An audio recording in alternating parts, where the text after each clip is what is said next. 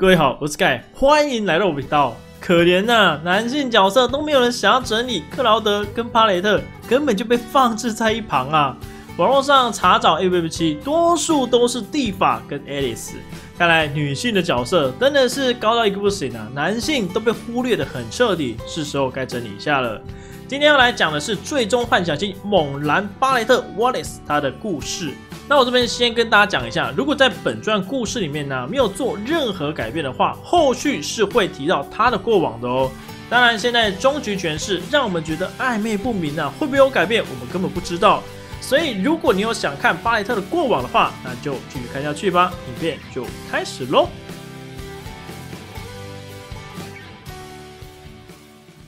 首先，先介绍他的基础资讯。巴雷特·瓦莱士其实最终幻想七的名字啊，都是有典故的，各位可以查一下。那巴雷特的名字前段的名称是 Barret，跟子弹的 Bullet 的发音是有点像的哦。反映出他的惯用武器是跟子弹有相关的，还有他的脾气就跟子弹一样，一触即爆的类型。后段的 Wallace 由来是一部电影，名叫做《梅尔吉伯逊之英雄本色》。中国叫做《勇敢的心》，香港则是《今世未了路》。这是九五年的电影。那电影的内容是英格兰的民族英雄威廉·华勒士的真实事迹做改编，主要是在阐述威廉·华勒士带领自己故乡英格兰里的村民组成起义军，同时也征召了其他的士兵加入，主要是反抗当时的英格兰国王长腿爱德华。因为国王并吞掉了威廉的故乡苏格兰，并长期在他的残酷统治之下，才组成了起义军。电影的情节大纲就是在讲反抗这件事情，内容也不是我们今天的主题，我也不再多做赘述。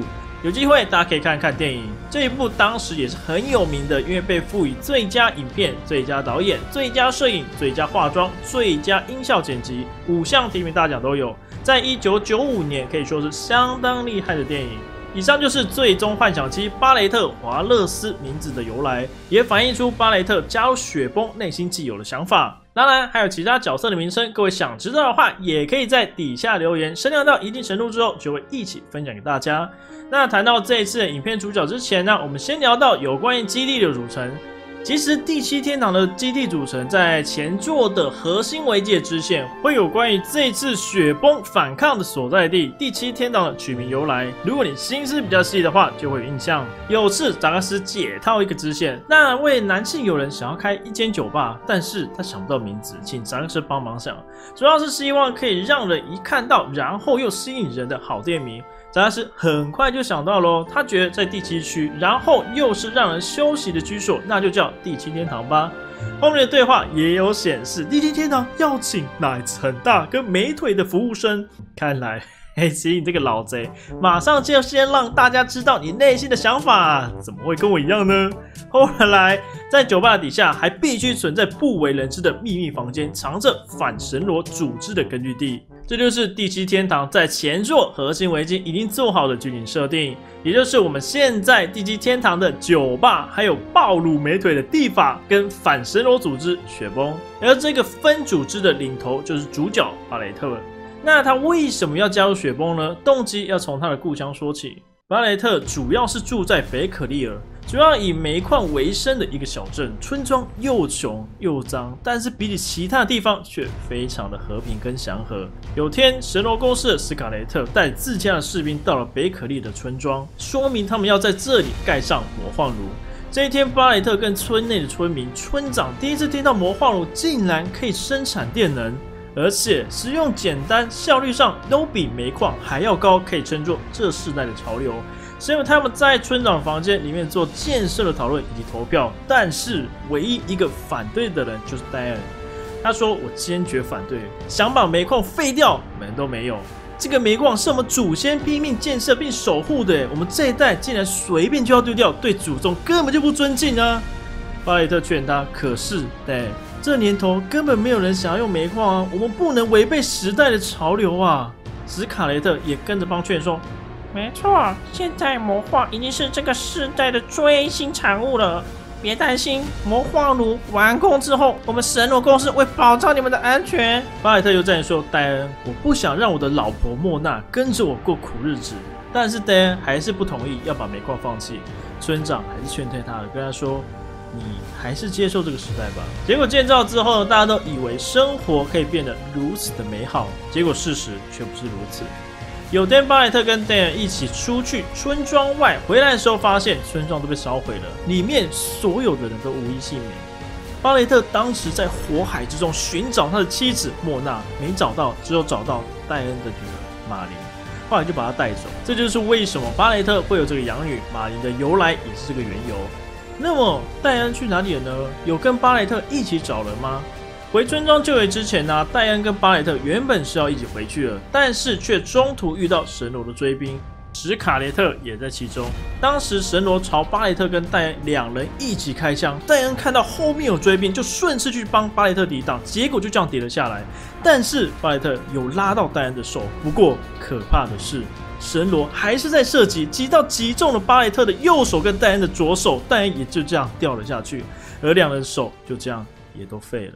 事后，巴雷特装了一只，但是因为这整件事情的自责跟憎恨神罗的愤怒，导致他根本无法静下心来，决定要对神罗复仇。所以在右手装上一支枪，他说：“这是我要用来对神罗的复仇。”新的右手，巴雷特对此非常生气，所以才加入反神罗组织雪崩。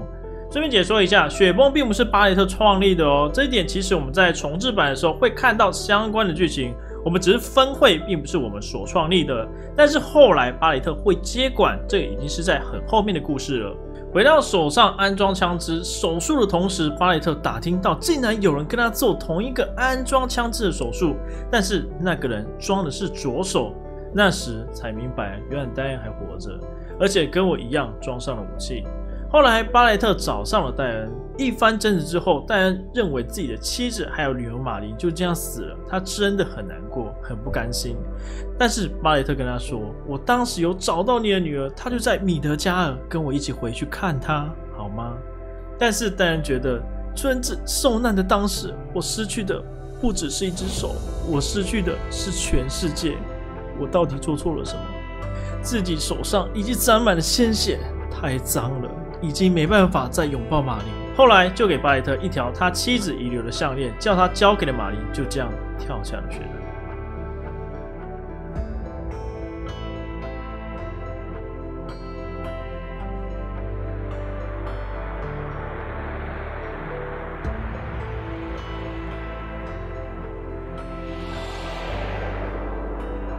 巴雷特很震惊的说：“戴恩，我跟你是一样的，我的手。”也是很脏的啊，所以这就是巴雷特过往，这也特别的心酸血泪。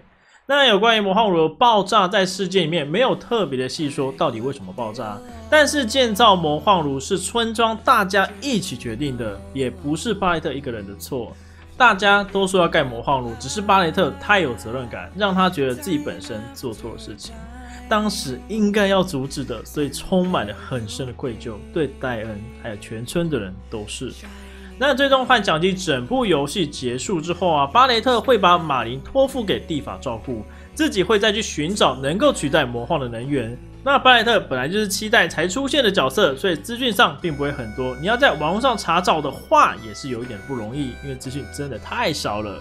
OK，到影片尾声喽。不过针对巴雷特在隐藏剧情里面的对话，有提到收集情报的阿尔跟爱画画的芬恩，我查找了很多的资料都没有相关的人物。如果有朋友知道的话，欢迎可以在下方的留言。但是其实，在隐藏剧情的对话里面呢，反映出巴雷特对雪崩的感情真的是很深厚，让我感受到为伙伴也是值得豁出去的一个朋友。那他在 FF 七的游戏对话里面啊，多数都是希望自己跟伙伴可以拯救星球。当然，针对大家各自不同，跟随克劳德也是有不同的辛酸历史，都是想要可以对神罗复仇。当然，也有一部分是为了 Sephiroth。那今天的巴雷特人设分享就到这边喽。如果你有任何问题，或者是你有想看谁的故事，都可以留言给我，我会排出时间做出更多的剧情影片。